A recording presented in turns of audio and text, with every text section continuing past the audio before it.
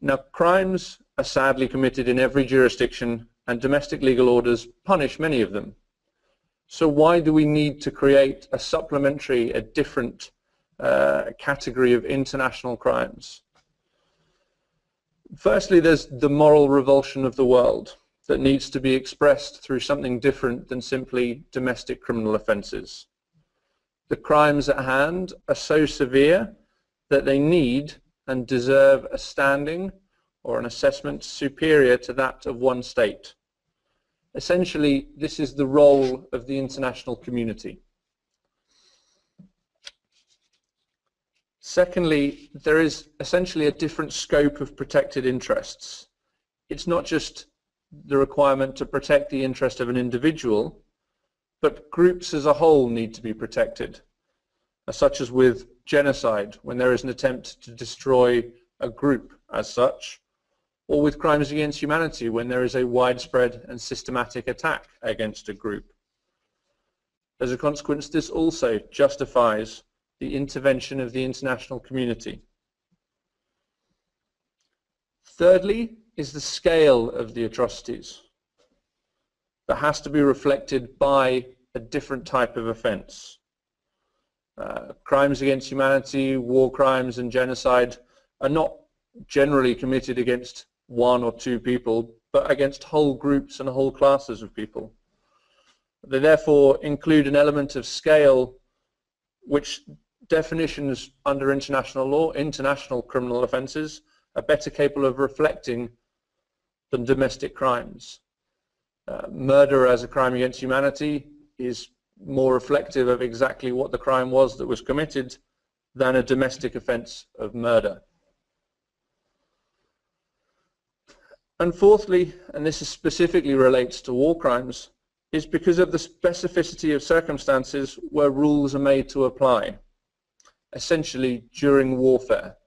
War crimes do not occur during peacetime in domestic jurisdictions. They occur during, as we'll discuss later on, times of armed conflict, whether the armed conflict is national or international, or internal or international. However, despite these differences, don't be completely fooled. In many ways, the crimes are essentially similar and comparable to domestic crimes a crime is often a crime under domestic and international law simultaneously. Uh, for example, murder as a war crime uh, is also punishable as murder as a domestic offense, offense. And at certain international tribunals, such as the Special Tribunal for Lebanon, uh, sorry, the Special Court for Sierra Leone or the Extraordinary Chambers in Cambodia, the same crime, the same act, has been punished both as a domestic criminal offense as well as an international criminal offence. Similarly, a crime can also, sorry, or an act can also amount to different international crimes. The same act can constitute a crime against humanity and a war crime simultaneously. For example, torture, rape and murder can all amount to both a crime against humanity and a war crime. However, the preference for prosecuting uh, an offence as a war crime rather than a domestic offence is generally because of other factors such as the pressure and expectation of the victims. Uh, and to, as I mentioned earlier, to reflect the overall scale and nature of the crimes.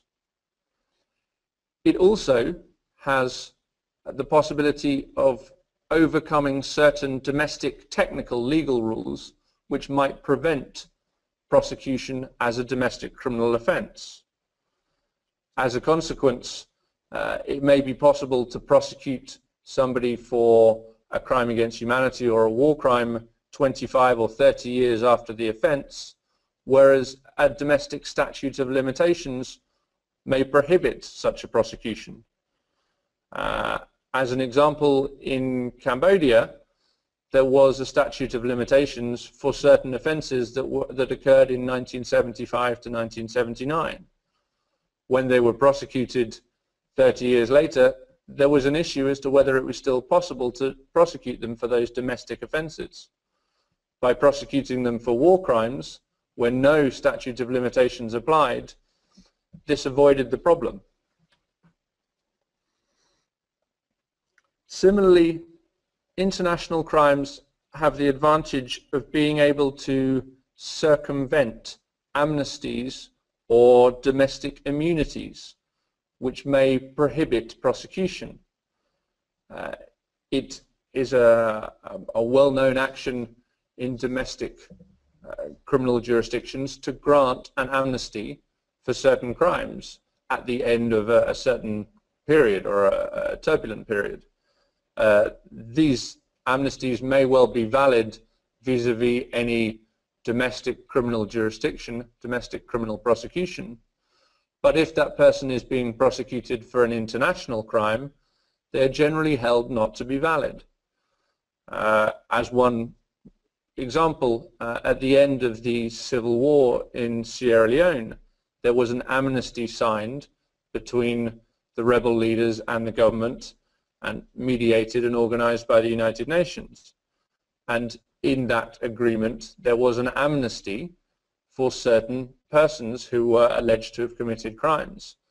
And when they were subsequently prosecuted several years later, they obviously invoked the, uh, the amnesty to prevent their prosecution. However, it was held by the jurisdiction, by the court prosecuting them, that such an amnesty agreement wasn't valid for those international crimes. And just finally, the other reason for, prefer, preferring to prosecute a crime as an international crime is that it's to distinguish between the crimes of the leaders and those of the foot soldiers.